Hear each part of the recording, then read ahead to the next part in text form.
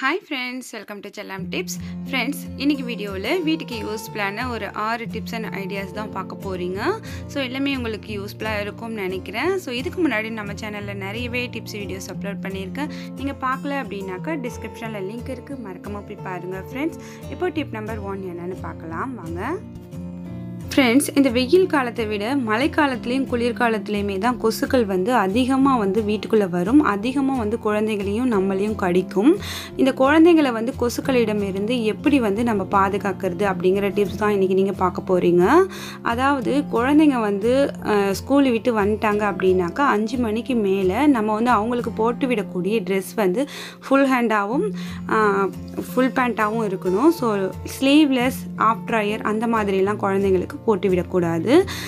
ஓப்பனாக இருக்கிற பகுதியில் தான் வந்து குழந்தைங்க கை கால் அந்த மாதிரி பகுதியில் தான் வந்து முதல்ல வந்து கொசு வந்து கடிக்கும். ஏன்னா அவங்களோட அந்த பிளட்டோட ஸ்மெல்லுக்கு வந்து அது சீக்கிரமாக வந்து அவங்கக்கிட்ட வரும். அந்த மாதிரி ட்ரெஸ் எல்லாமே அவாய்ட் பண்ணுங்கள் ஃபுல் ட்ரெஸ் போட்டு விட பாருங்கள் அதுக்கப்புறம் நம்ம வந்து வீட்டில் இருக்கிற இயற்கையான முறையில் எப்படி வந்து அவங்கள வந்து கொசுக்கிட்டேருந்து பாதுகாக்கிறது அப்படிங்கிற டிப் பார்க்கலாம்.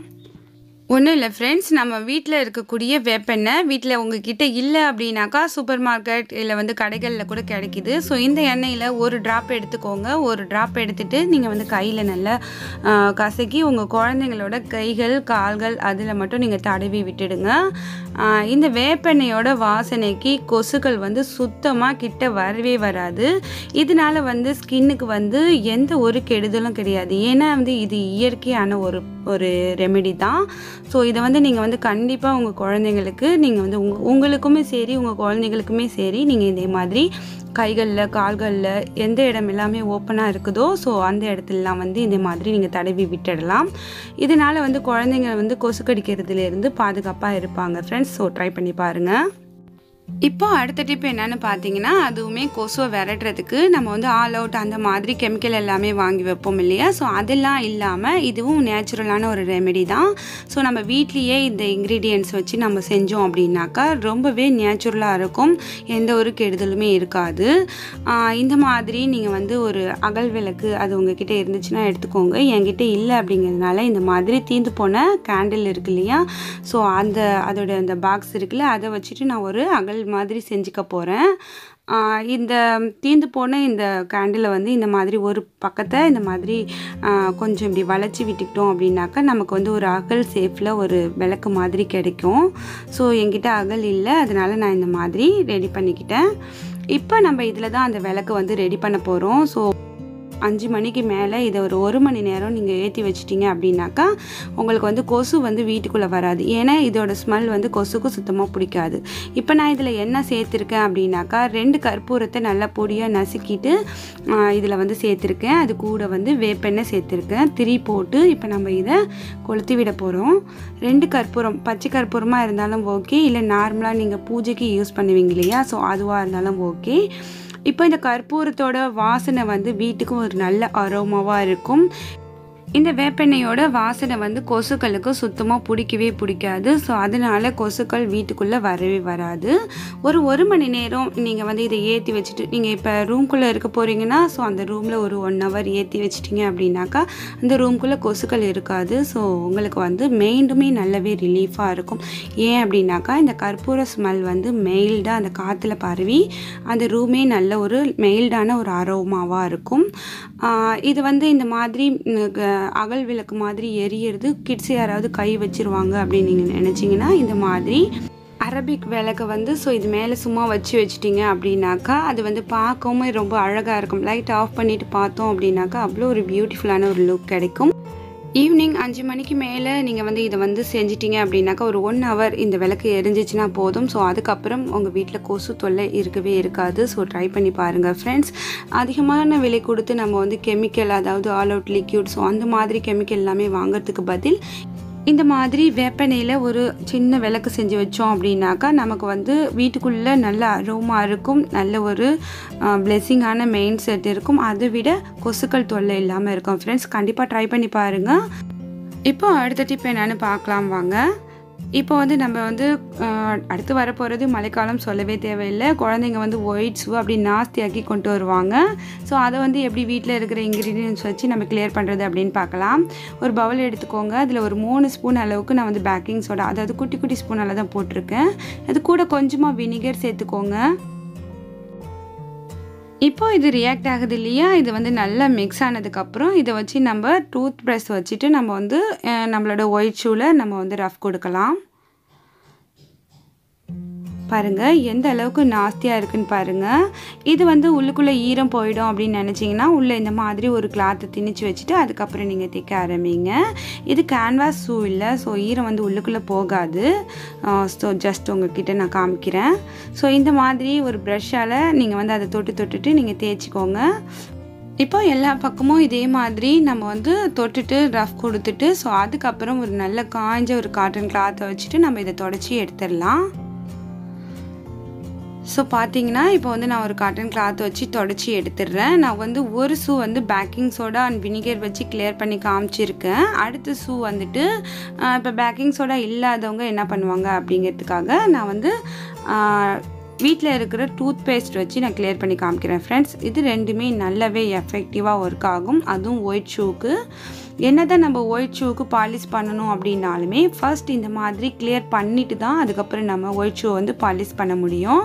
ஸோ ஃபஸ்ட் இந்த மாதிரி கிளியர் பண்ணிவிடுங்க இப்போ ஒரு ஷூ நம்ம வந்து பேக்கிங் சோடா அண்ட் வினிகர் வச்சு கிளியர் பண்ணணும். ஒரு ஷூ வந்து ஒன்லி ஒன் டூத் பேஸ்ட் மட்டும்தான். அது என்ன ப்ராண்டாக இருந்தாலும் ஓகே நான் வந்து இன்றைக்கி கோல்கட் எடுத்திருக்கேன். ஸோ இதை வச்சுட்டு நம்ம எல்லா இடத்துலையுமே ரஃப் கொடுத்துடலாம்.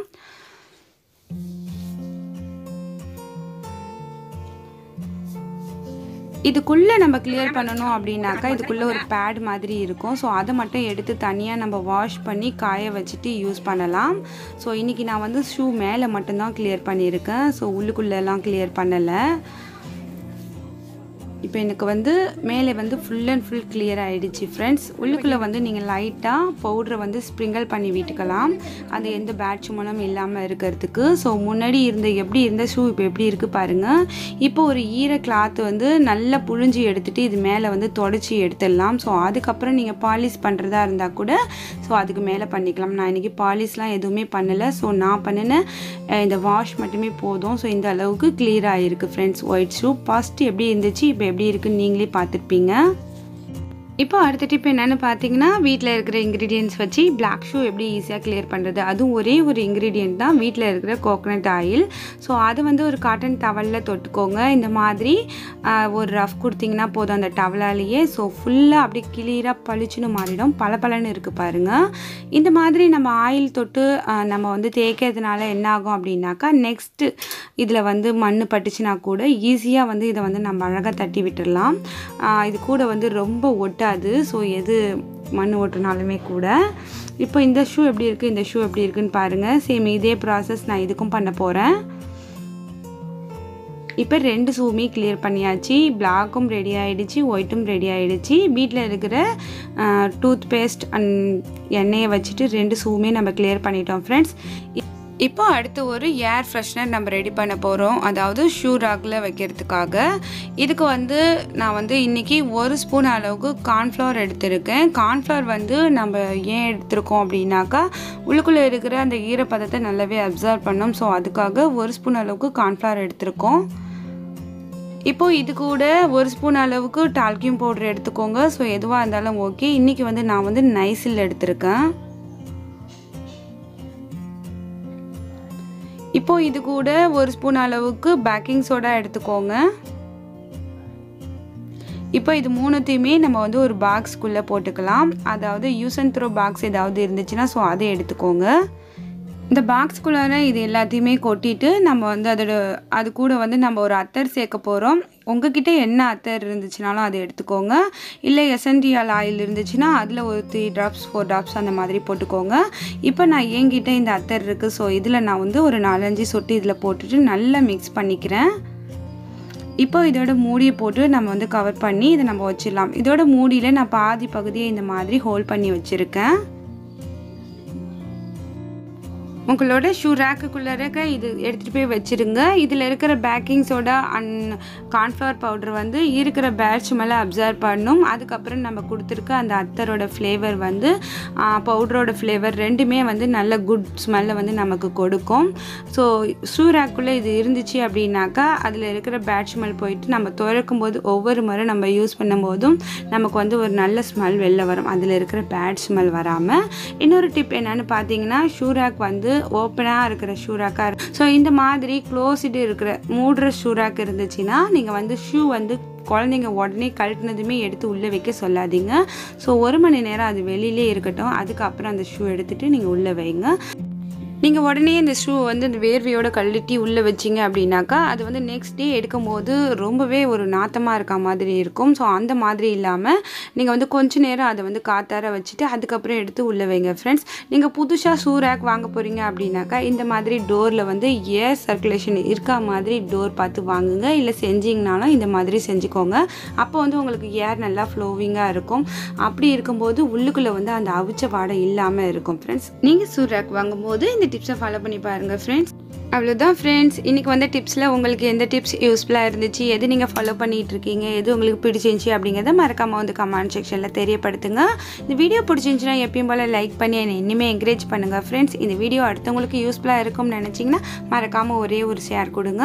இது போல் இன்ட்ரெஸ்டிங்கான வீடியோவை நீங்கள் மறுபடியும் பார்க்கணும்னு நினச்சிங்கன்னா நம்ம சேனல் செல்லம் டிப்ஸை மறக்காமல் சப்ஸ்கிரைப் பண்ணுங்கள் அடுத்த ஒரு இன்ட்ரெஸ்டிங்கான வீடியோவில் உங்களை நான் சந்திக்கிறேன். தேங்க்ஸ் ஃபார் வாட்சிங் பாய்